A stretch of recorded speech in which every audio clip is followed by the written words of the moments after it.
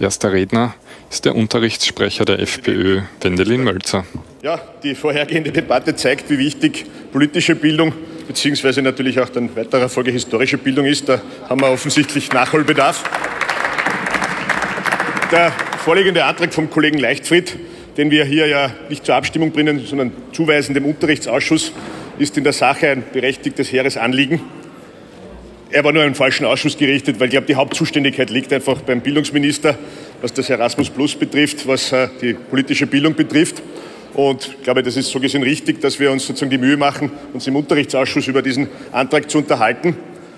Ich äh, kann in diesem Antrag, der eben darauf abzieht, mehr politische Bildung in Bezug auf Europa zu machen, die Institutionen nahezubringen, durchaus Interessantes zu erkennen, vor allem in dem Punkt, die, den, den, studentischen Austausch oder überhaupt Erasmus Plus zu fördern.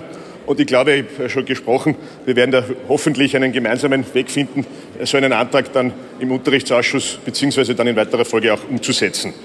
Ähm, dabei, glaube ich, ist nicht ganz uninteressant, dass wir ohnehin im Bildungsbereich äh, vereinbart haben im Regierungsprogramm und das ja auch dabei sind umzusetzen, dass wir politische Bildung verstärkt in den Unterricht bringen wollen. Und das ist natürlich ein Teil davon. Es wird aber nicht nur darum gehen, eben äh, die europapolitische Komponente, sondern generell einfach politische Bildung zu implementieren. Und es wird auch nicht nur darum gehen, Kinder jetzt nach, ich sage mal ein bisschen übertrieben formuliert, nach Brüssel zu karren, sondern generell auch schon in Österreich drauf zu schauen. Da gibt es ja sehr interessante Pläne, was die Demokratiewerkstatt des Parlaments betrifft, äh, generell äh, eine Nähe für Kinder zu demokratischen Institutionen äh, zu schaffen.